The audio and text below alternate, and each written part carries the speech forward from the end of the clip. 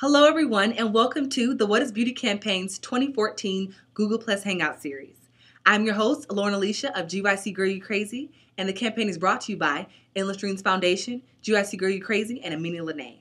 Tonight we have with us the awesome, inspirational, motivational Chelsea Castner of Just Ask Y. She's a life facilitator, millennial expert that talks about career, budgeting, life, you name it. But tonight we have her talking about how to outthink your mental bully. How does that sound? Well, I hope it sounds awesome because I'm excited. So, without further ado, Chelsea, take it away.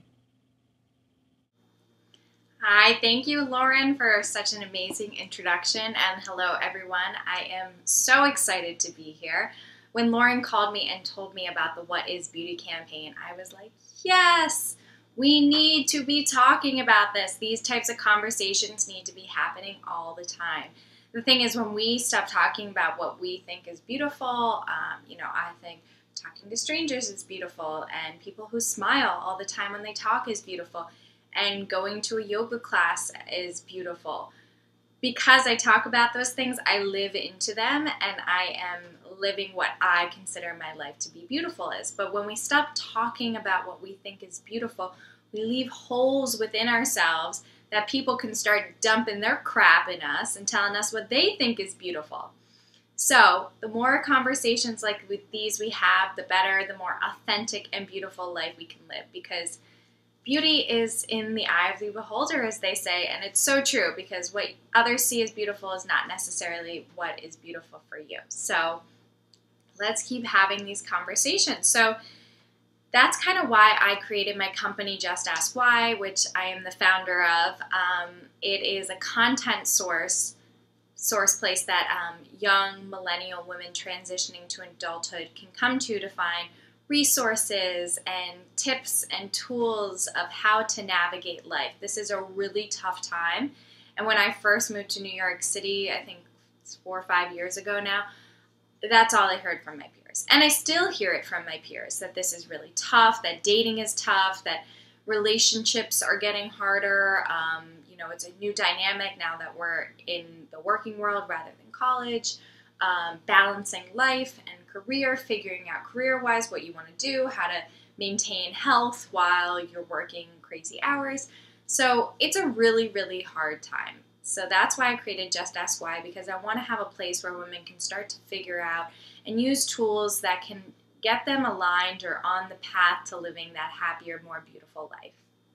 So today my topic is how to outthink your mental bully. So what is your mental bully? And that is that voice inside of your head that we all have because we're all human. So we hear this voice inside of our head all the time saying we're not good enough, we're not worthy, somebody can do it better, we don't look good enough, whatever it may be. And I have some bad news for you guys. Your mental bully is never going away. It's just how we are as humans. We all have mental chatter and things that do not, and voices in ourselves that do not align with who we really are. So that's bad news. You can't outrun your mental bully. It's impossible. You're not fast enough. They will catch you. But, and it's a big but, you can outthink your mental bully. And outthinking your mental bully actually shifts something within you where your mental bully becomes your guiding star of how you can have a happier life, how you can have a more fulfilled life. It's a tricky concept of how can this voice that tells me I'm not good, up, good enough actually be my guiding star to more happiness? Well, here's the key. When you are happy, think of a time you're with your friends, you went out to dinner, maybe you're in a bubble bath, you're just happy, right? You don't think to yourself, hmm, how could I make myself happier right now? It just, you're just living in the present. So, but when you have these mentally thoughts that are, you're not good enough, that's actually showing you in your life where you can be better, where you can show up better, where you can transform your life to have more happiness. So it's a little tricky to get there. I'm not going to say that using these tools that I'm going to get you will get you there ASAP, but we're going to work on it. And, you know, one thing that one of my teachers has shared to me is that upset is access. When you are upset, that is your access point to more happiness in your life, right?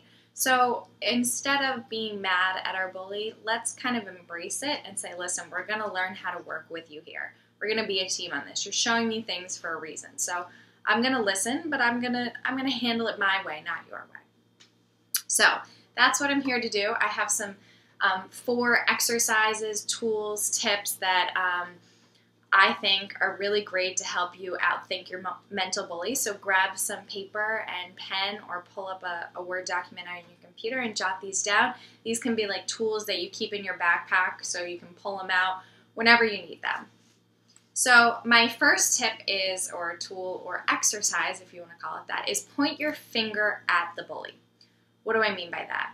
So, a lot of times um, you'll start doing things that you're not so happy about in your life. Maybe you're overeating. Maybe you are ignoring people that you love. Maybe you're snippy at people that you love. Um, maybe you're going out drinking too much at the bars than you want. So, when I say point the finger, start noticing everywhere where you're not living authentically the way you want to live where are you not living into what you consider beautiful, right? Snipping at your friends is not beautiful. None of us want to do that. So by pointing those fingers at, pointing your finger at each of those things, you're able to recognize where it is that you're not being yourself, right? Those people, those actions are really not you. So once you jot a few things down, I want you to take a deep breath and just ask yourself, where is this coming from? Right? In a very loving way. Where are these actions coming from? And don't expect a light bulb to pop on top of your head and say, ding, ding, ding, this is where it's coming from. Because it probably won't. It may. Some of you may have an experience where you're like, oh, it's coming from this. But it, it may show up later or it may never show up. But the point is, is that you're you're you're outing it. You're you're recognizing where this mental bully is showing up in your life. And recognition is your access to change anything in life, right? When you recognize something, you are then able to transform it. So, a quick example in my life when I moved to New York City, I was not being myself. I was overeating. I was not really showing up the most creatively that I could at work. I was, you know, snipping at friends, maybe snipping at my mom a little bit, doing things that were just not in alignment with who I was. Well, I did some work of trying to figure out why I was doing these things and not really living the way I wanted to live. And I came to realize that the, the bullying thought that had pushed me to doing all those things is that I kept telling myself I was not I was not able to live in New York City. I couldn't handle it, right? So I actually created um, a situation for myself where I couldn't handle it. I, you know, I was beating myself up. I was letting the thought take over, and I was creating a life that I couldn't handle. But once I recognized that, I was able to transform it. So that's the first step is really just outing it, pointing your finger at it, show yourself, your body, your mind where it's showing up. And once you do that, you can move on to the next exercises and you can really transform this for yourself.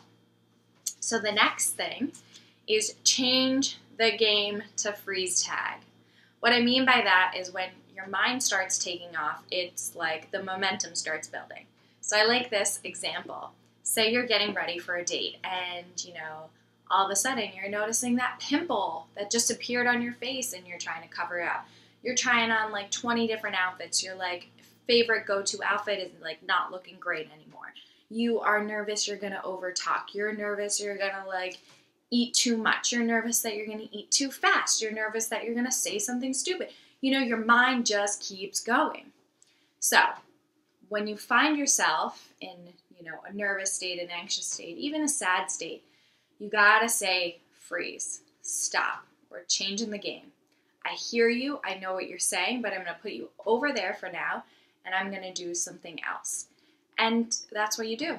Maybe you want to do like a quick yoga flow. Maybe, you know, get some downward dogs in there. Or maybe you pick up that phone and you call your mom and you talk about something unrelated to what was going in your head. You know, you don't want to add to the momentum. So call your mom and talk about something else. Or YouTube a really funny skit of your favorite comedian or listen to like a really awesome song and dance your ass off. The whole point is to switch from the gear of what you were in, of that mental chatter, that that motivation that was I mean not the motivation, the momentum that was that was building in your mind to stop it. At least pause it or slow it down and turn your attention towards something else to give yourself a break so you don't really overwhelm yourself that you like freeze so much that you can't even walk out the door. So now there's one caveat to this anger. It's so, so hard to freeze anger. Let me tell you, when you start feeling angry, I am sure you have all experienced this. It just comes up in you. It just like hits you like a train and you just want to react. So it's really hard to divert yourself and say, oh, I'm angry. I'm going to do a few downward dogs. I mean, maybe eventually you'll get there, but that's pretty, pretty hard to do when you're feeling really pissed off. So I love this analogy that somebody told me, and I think it works great for when you're feeling angry. Okay, so think of anger as a subway train, right? You've been waiting in the subway station for a really long time, and the anger subway comes rushing in, and it's going fast. And the doors open and you're like you want to get on you want to get on. You've been like waiting for this. You're just ready to take off. But you just take a deep breath you let the doors close and you let the train pass. And maybe the next train that comes for you is like pissed off or annoyed or um, sad whatever it is it may not be happiness that comes down the track but it's going to be something other than anger and the point is not to stifle anger, because anger has a purpose and you're allowed to be angry. But what we want to prevent ourselves from doing is acting on that anger. Because when we act on anger, we do things that are totally not who we are. We say things that are hurtful that we later regret. We do things that are harmful to ourselves or other people that we 100% regret. So it's just, it's not pretty. We normally create more chaos when we act out of anger than we than we actually solve the problem. So if you can just pause and have that visual of like the train doors closing and say, "Nope, I'm not going to get on the anger train," and you allow yourself to get on the annoyed train, you'll probably make a lot less damage to yourself. So try those two little tips and tools and see see what works for you. Okay, my next is actually my favorite. It is um, the exercise or the tip that I use most often, and my good friends know this because they're the ones that I use it on, and it is reveal it to heal it. And what I mean by that is these emotions that we're feeling, right? These thoughts, these mental, like you're not good enough, they just, they're like two year old kids. They just want attention. So let's give them what they want and shut them up. So, reveal it to heal it is you do this in a safe environment. Please don't be going doing this like in the bar or at a date or at you know at work. You might not feel comfortable. You want to do it in a really safe environment with people you feel very safe around. You know, really close friends, close family members, people you can trust, and just let those emotions come up. Like cry it out. Like go at it because I believe that a person who cries is actually braver than the person that holds it in, right? That I think that's kind of cowardly just to say, I'm not going to deal with that emotion, I'm not going to deal with that emotion, and then you end up letting that emotion come out like sideways and it's really not that pretty. So if you just deal with the emotion the way it wants to come up and out of you, just cry it out. I did this when I first moved to New York City and I was stress eating and just really felt not good in my body. I sat my friend down on the couch and I just cried to her. I said, I don't know what's going on with me. I don't know how I got, you know, to this point. These behaviors are not what I'm used to. I don't know how to handle it. And I just cried. I just cried and cried and cried and cried. And as soon as I stopped crying, I felt tremendous relief. And I felt, oh my God, thank God I no longer have to beat this drum of I'm a stress eater. I'm a stress eater. Oh my God, I'm a stress eater. I just felt like I outed it. Okay, it's out. Oh my God, this is something I've been doing and I want to change it. And as soon as you reveal it, you really, really can heal it. So give your emotions attention. They just want to be heard and let them be heard, but don't let them take over your life. So reveal it to heal it. Now, my last one is self soothe with self love. Now, what's great about self love is I think it can transform anything in your life. Loving, showing loving and kindness to yourself, others, even your food, showing kindness to your food and taking time to eat it and, and admiring the food and smelling it, it actually transforms the way you eat. So, self love, love in general, can change anything. So, when you're in one of these states where you're like beating yourself up and you're angry that you've been doing X, Y, Z, you know, you're, you feel bad that you snapped at a friend or whatever it may be, do not punish yourself further, right? It's just, it's not going to help anything. For example, if you are in um, a meeting with your boss and he's mad at you because, or she's mad at you because you sent the wrong email or you sent something wrong, right? They're, you're pissed, you messed up. You go back to your desk, and what are you gonna do? Sit there and say, like, oh my God, I'm gonna get fired. I better just work here like 12 hour days, really show them that I'm gonna like be better. No, it's really not gonna help. And I'm sure your boss was over it in like a few hours, you know, on to the next thing. It's not gonna help anyone if you punish yourself. What you should do is head back to your desk, grab your coat, go for a five minute walk, go to like the nail salon and get like a 10 minute chair massage and just say, you know what, yes, I messed up. I'm not feeling myself. I, that was something I shouldn't have done. But I'm human and I'm learning and I, I'm going to treat myself with care and I'm going to get better because that's what we do. We learn, we grow, we get better. So, some of my favorite things to do is take a shower. Take a hot shower. Honestly, it can transform anything. Or a bath. Um, make yourself a nice, healthy meal instead of grabbing something at the deli or whatever. Make yourself like a really nice meal. Um, relax. Don't watch TV. Read a really good book. Go to the massage parlor. Do something that just feels really, really nice and relaxing to you. And I promise you, it will change your outlook. It change. It always changes your outlook. Um, Self love is really the best thing you can do for yourself and for the people around you. So that those are my four um, tips. So we'll recap: point your finger at your bully. Where is it showing up in your life? Change the game to freeze tag slash imagine the emotions are like a subway train coming. You can let the door close without getting on the train.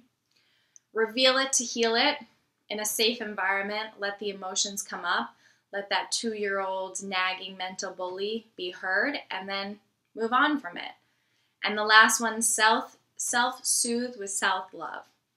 So those are my four tips. I hope that you guys gained, you know, at least liked one or two of them that you think you can you can use in your life. Keep them in your backpack. As I said, they are great tools and tips that you can pull out at any time when you're feeling overwhelmed or your your mind's just going like crazy, gaining way too much momentum on a topic or a situation that you know is not serving you.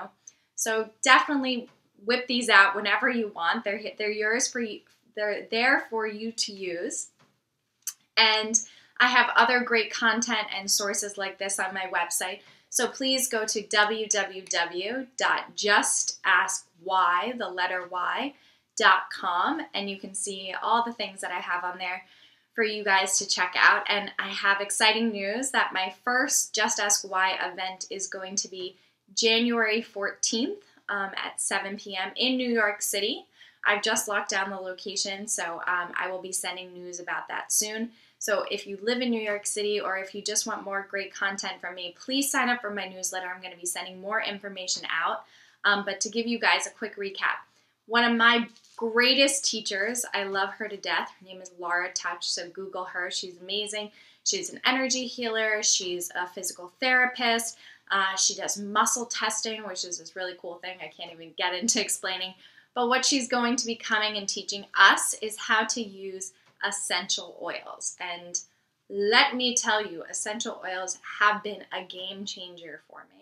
Um, there is an oil little, literally to transform any emotion you're feeling. If you are feeling sluggish, there's an oil to change that. If you are feeling self doubt, there is a oil to change that. Or if you are feeling jealous, there is an oil to change that. Literally, there are so many oils, and there's a specific way that you you use these oils that really just moves those feelings up and out of you um, almost instantaneously.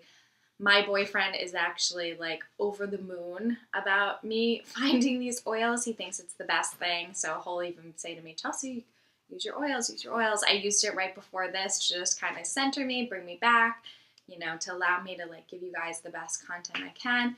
So if you're around, please come. It is an event you are not going to want to miss. So sign up for my newsletter on my website.